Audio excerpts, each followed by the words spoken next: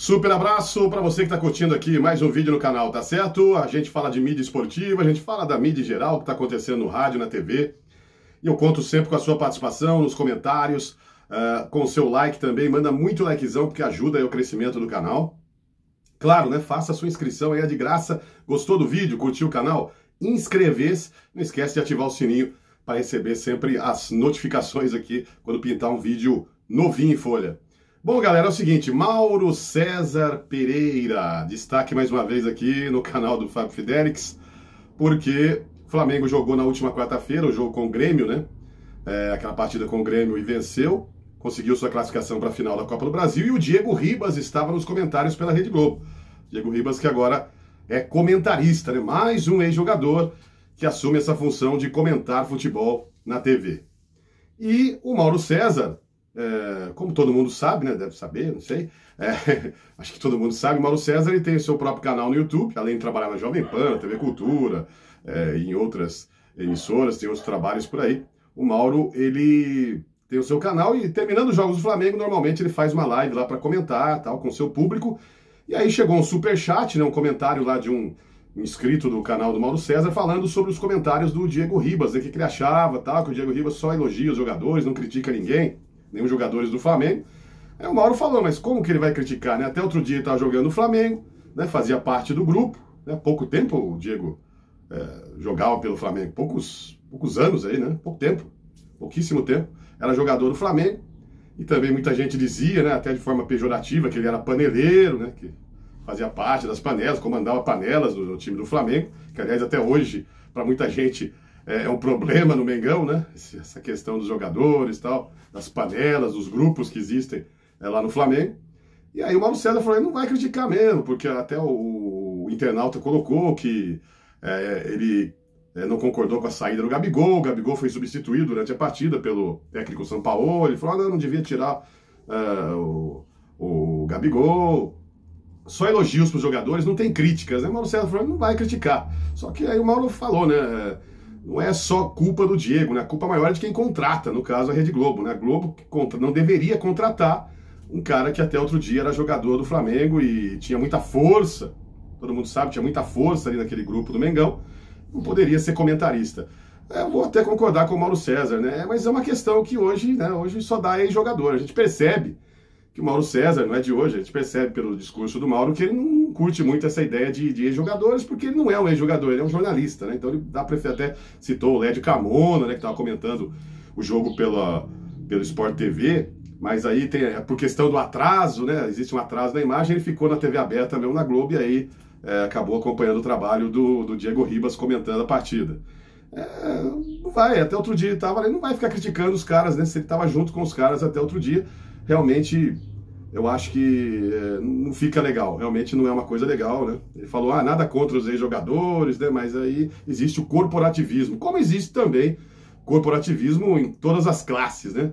Em quase todas as atividades, inclusive dos jornalistas existem, né? Existe esse corporativismo. É, e aí é o seguinte, concordo com o Mauro e, e vou citar uma, uma, questão aqui, né? Essa, é, esse negócio de jogador comentar futebol, Começou lá no, no, início dos anos 80 ou finalzinho dos anos 70 com o Luciano do Vale, né? Quando ele saiu da Globo, foi para Bandeirantes, saiu da Globo, foi para Record, depois para Bandeirantes, é, e montou lá o show do esporte, o canal do esporte, e ele, ele começou a lançar esses ex-jogadores, né? Gerson, Canhotinha de Ouro, Rivelino, é, Tostão, Clodoaldo, o próprio Pelé, a primeira Copa que o Pelé comentou não foi na Globo, foi na Bandeirantes, lá com o Luciano, em 1986. Depois ele foi, já na Copa em 90, ele estava comentando lá com o Galvão, na Rede Globo. Depois fez mais duas Copas, em 94 e 98. Então o Luciano que lançou esses ex-jogadores. Só que ele sempre colocava ali né, um jornalista junto, o Juarez Soares, às vezes ali um professor Júlio Mazei, um Armando Nogueira, entendeu? Uh, mas hoje não, hoje os ex-jogadores dominaram, inclusive estão apresentando programas esportivos, né? Inclusive isso, Neto, próprio Roger Flores, programa com boleiro.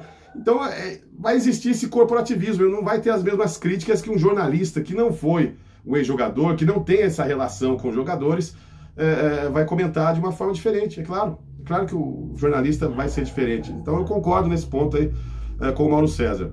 Outro dia ele fez uma crítica, até gravei um vídeo aqui, do, da, a transmissão da Casé TV, né? Que a Casé TV tem os direitos de transmitir os jogos do Atlético Paranaense quando o Atlético joga no Paraná. né?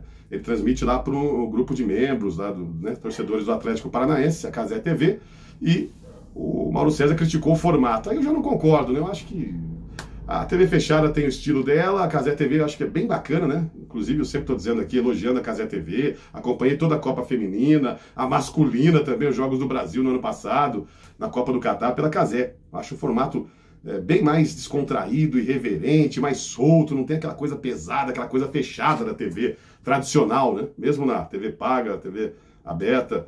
Então é um estilo diferente, eu não concordei. O Mauro acha que é muita brincadeira né, e poucos comentários tal. Tem que ser mais séria a coisa. Aí é uma opinião do Mauro que é, eu discordo. Eu acho que hoje o caminho é esse, o futuro é esse. Mas no caso do Diego Ribas, realmente eu concordo.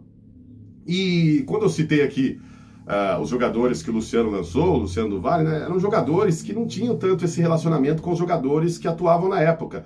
Diferente no Roger Flores, né, que ele tem essa relação, tem programa lá que ele apresenta com boleiros, né, o próprio Neto. Então, é, o Diego Ribas né, jogava no Flamengo há pouco tempo, então ele não vai criticar mesmo. Então, não, acaba não sendo o, o, jornalismo, né? Aquele jornalismo. Aliás, eu vou, né, vou até colocar aqui. É, eu não gosto nem quando comentaristas de, de, de, esportivos, comentaristas esportivos e narradores, no caso do repórter, não, o repórter ele precisa ter esse contato com jogadores, com atletas. Mas narradores e comentaristas, eu acho que não deveriam, deveriam manter uma certa distância dos atletas. Atletas de futebol, de vôlei, basquete, boxe, pilotos. Porque quem não se lembra, né? Galvão, Bueno e Senna eram muito amigos, né? trocavam presentes, eram, amigos, eram pessoas muito próximas e o Galvão narrava as corridas. Então, o próprio Flavinho Gomes, que é um outro jornalista polêmico também, eu concordo com o Flavinho quando ele disse que nas corridas do Ayrton Senna, com o Galvão narrando, o Ayrton Senna nunca errava. Até quando tinha uma batida e o Ayrton Senna era o culpado da batida, era o adversário o culpado, né? Uh, os erros sempre tinha uma desculpa, o Ayrton Senna nunca errava. Brilhante piloto, sensacional, beleza, mas com o Galvão não tinha erro, né? O, Galvão, o Ayrton Senna era perfeito. Então, é, essa relação não acho bacana. Como um outro, uma outra situação até grave aconteceu nos anos 80, o Luciano do Vale, quando era empresário do Maguila, Adilson Maguila Rodrigues, o boxeador, e ao mesmo tempo narrava a, a, as lutas. Então você narra as lutas de um cara que você é empresário. Né? O conflito de interesse também não era uma coisa legal. Luciano narrava bem pra caramba, o boxe, estava no auge da carreira, narrações vibrantes, ganhava da Globo quando tinha as lutas no Maguila, dava muita audiência, mas narrar e ao mesmo tempo ser empresário, na época eu não pensava nisso, mas hoje, analisando né, como é que funcionam as coisas é, no rádio, na televisão, então é um erro, né? Você empresariar um atleta e ao mesmo tempo você fazer as narrações. É claro que você vai promover. É aquilo que eu disse do Galvão e do Senna, não tem erro, né? O Maguila era fantástico, o Maguila nunca errava, né? O Maguila, mesmo quando estava lutando mal pro Luciano, ele estava narrando bem, né? Na narração do claro. Então, é, é o conflito de interesses que eu acho que não é interessante para o jornalismo. Mas enfim, tá aí. Mauro César dando cutucada no Diego Ribas, comentarista hoje da Rede Globo, e na Rede Globo, porque, segundo ele, não deveria contratar, né? A Globo que contrata, né? O cara não tem tanta culpa assim, no caso, o Diego, a Globo que é culpada de contratar um, um ex-jogador, né, do Flamengo, que estava, repito, né, há pouco tempo aí era jogador do Flamengo, estava nesse grupo, e colocá-lo para comentar as partidas do Mengão. É a opinião do Mauro César. E aí, qual a sua opinião? Manda a sua opinião no canal do Fábio Fidelix, tá certo? Comente aí esse vídeo, esse assunto. E não esquece, hein, de mandar muito like, ativar o sininho e fazer a sua inscrição se você não é inscrito ainda. Se você é inscrito, um grande abraço. Se você não é, inscrever, só clicar aí, beleza? Até o próximo vídeo. Tchau.